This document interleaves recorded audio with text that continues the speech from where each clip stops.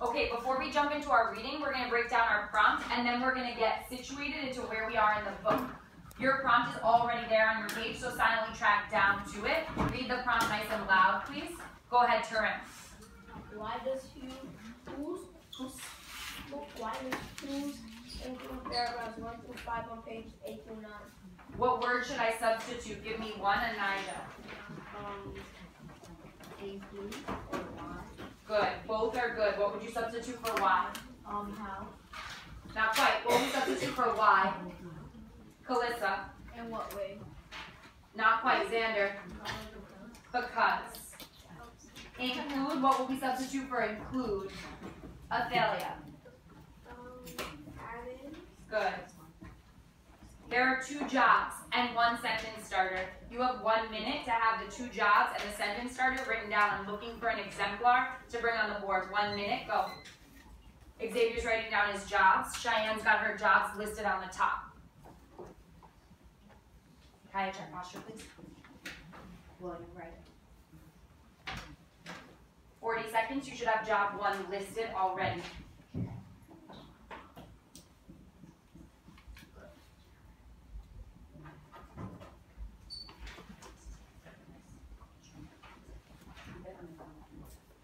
And I was already writing your sentence starter. You have 30 seconds to get that sentence starter done.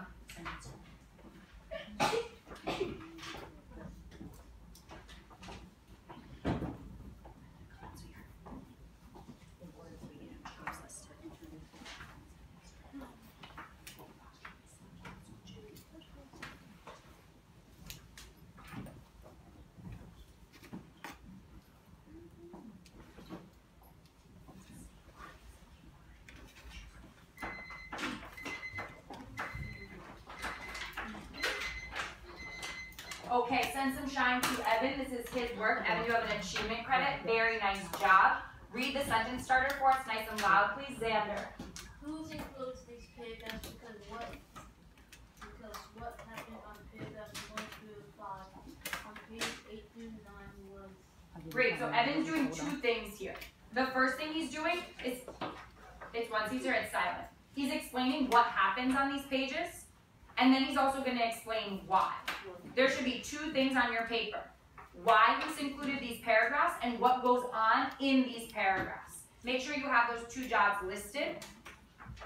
What goes on in these paragraphs, why he included them. Xander's adding to his notes. Shania is learning from a teammate.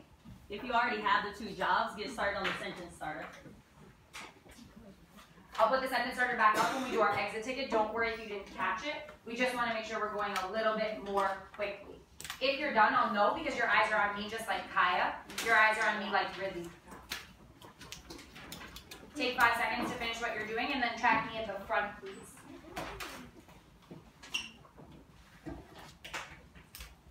Great. Silent track me at the front. Rashad's tracking me. Kaya's tracking me. Isaiah's tracking. Scanning for 100%.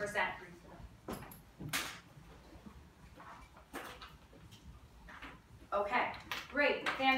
See you. Jordan, one, track me, please. Right here. What genre is our text that we're reading? Quick review. What genre is our text? Kimura?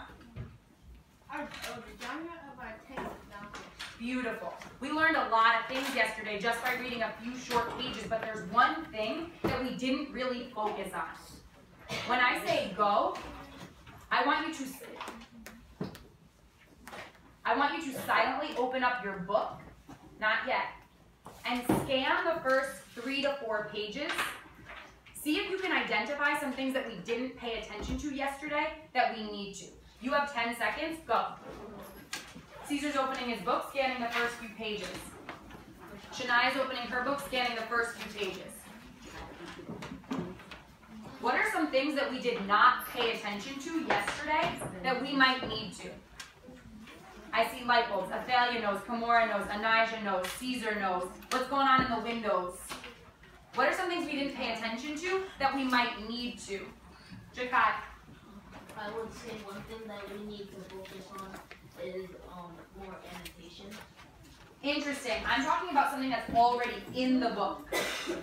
Shania. I think that the, the one thing that we need to focus on is like the pictures and those like the little captions you have an achievement credit. We call these things the pictures, the captions, we call them text features. They're called Text features. they are things that add to our understanding of the text because they give us more than just the words. Let's take a look at one in particular. Silently flip to page 7.